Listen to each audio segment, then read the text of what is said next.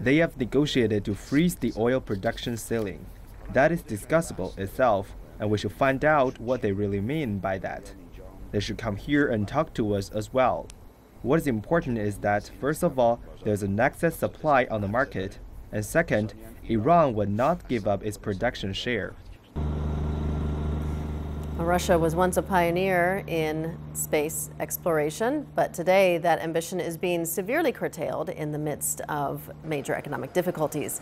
Moscow is making major cuts to Roscosmos, its federal space program that could make Russia's status as a cosmic trailblazer a thing of the past. Take a look.